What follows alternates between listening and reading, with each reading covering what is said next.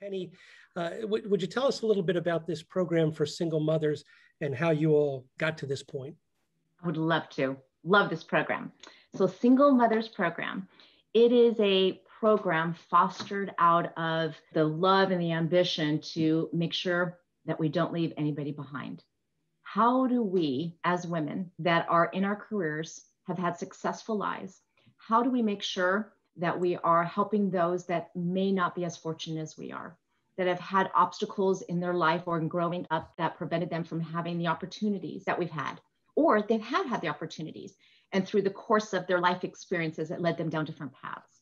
And so, as a single mother, a long time ago myself, I remember what it was like barely making you know ends meet how do you survive with all of the, the, the gas prices and the daycare prices and the food costs and the rent and all of that when you're a single mom? That may not be getting very much support from other people.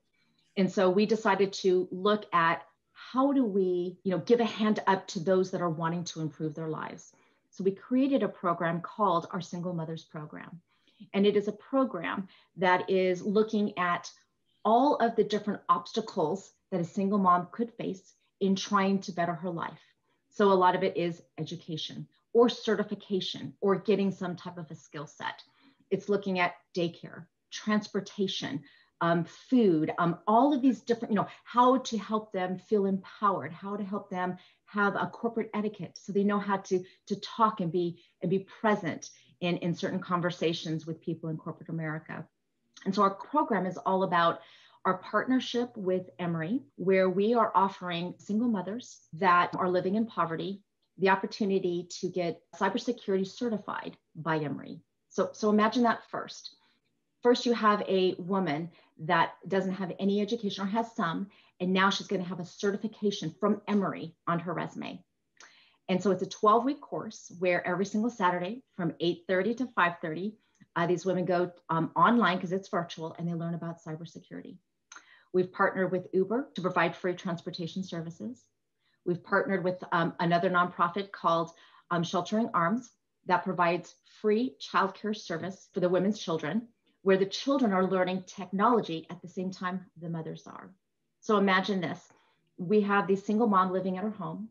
Uber comes up drives up, picks up their child and the mother, takes them to Sheltering Arms. The mom drops off the child, and then Uber takes them back home so that the mom is at home virtually learning cybersecurity. And she has no obstacles to distract her from being successful in listening to the professors that are teaching.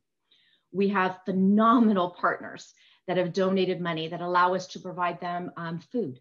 And so we got them a little Uber Eats card, and all they do is order food and it's delivered and the food for their child is being taken care of by sheltering arms. And so they're able to have all of these obstacles removed to help them to be as successful as they can. If they don't have internet, we've partnered with AT&T to provide them internet at an incredibly low, low cost to them. And we are able to offer all of this at no cost to them because of donations, because of our sponsors, and because of foundations that have seen the value in what we've done. And I will say, we just had graduation about four weeks ago. We had enough funds to offer the program to 20 single mothers. We had 19 that graduated. They had an average GPA of 96%.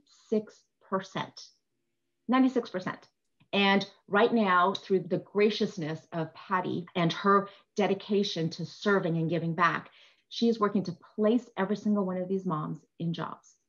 So right now, we've got five of them that have been offered jobs where they went from making less than 34,000, they will be making over 50,000 with benefits, sign-on bonuses to make sure that they don't lose, you know, their home or their apartment while they're trying to get money to start their job, and they will go from making over 50,000 a year with benefits. But that is the core of what it is. It is to give them a hand up, not a handout, and help them to uh, make themselves more successful